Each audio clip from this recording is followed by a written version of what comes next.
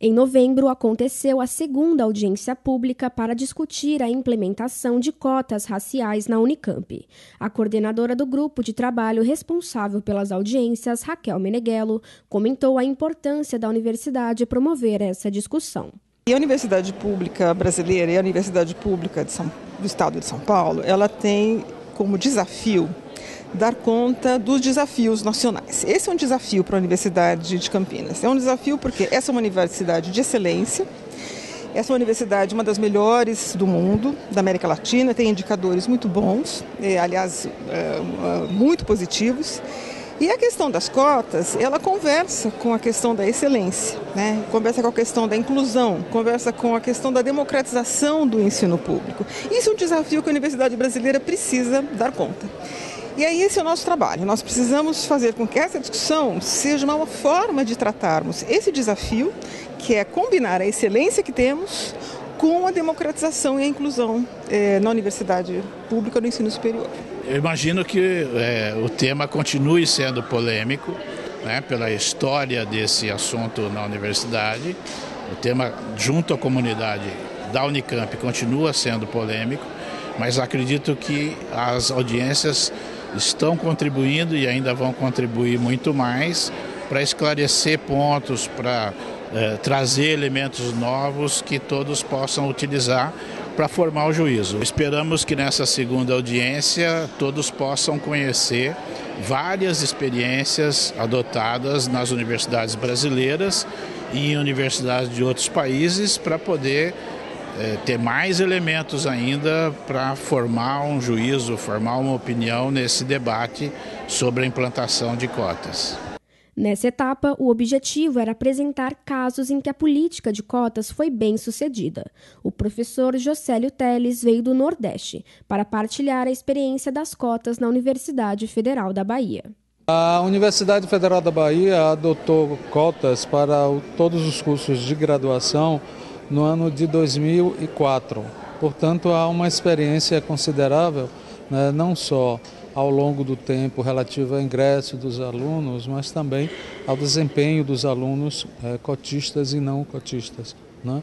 Naquele período, a universidade foi a quarta universidade federal do Brasil a adotar cotas, né, além da Federal do Paraná, UNB uh, e a Federal de São Paulo. Né? Então, nós estamos aqui trazendo essa experiência, né? afinal de contas, sempre foi um tema polêmico. Né? A maioria das universidades federais hoje tem cotas, né? Uh, e algumas ainda universidades resistem, né?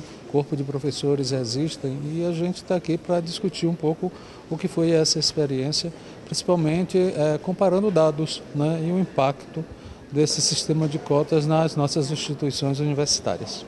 A expectativa para o segundo dia de audiência era grande. Samuel Emílio, coordenador da Educafro, veio com aproximadamente 50 pessoas de São Paulo só para participar da discussão. A Educafro hoje é uma instituição que trabalha com inserção de negros e brancos pobres dentro das universidades, públicas e particulares.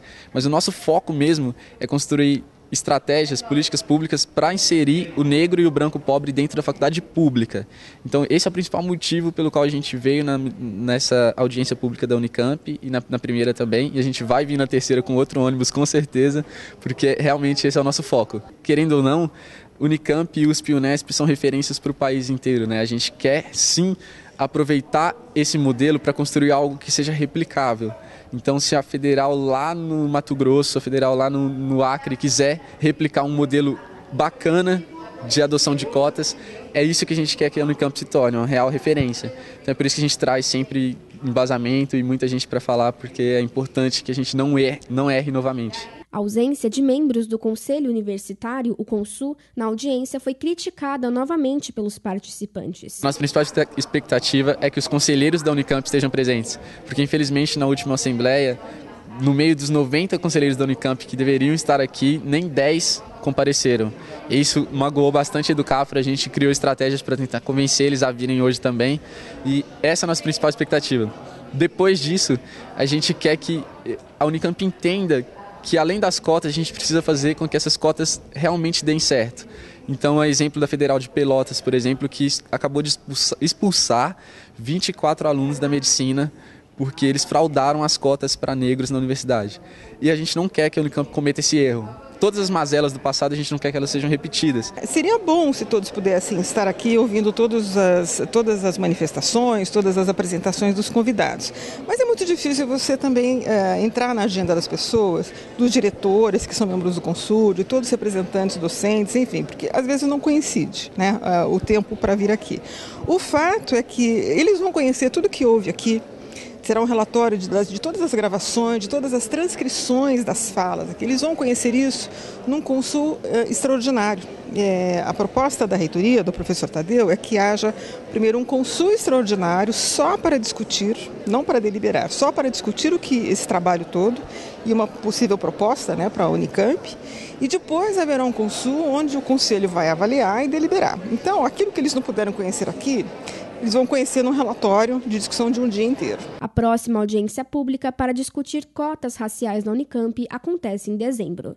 Na última etapa, será discutido o Programa de Ação Afirmativa da Unicamp, o PAIS, e como ele se difere das cotas raciais.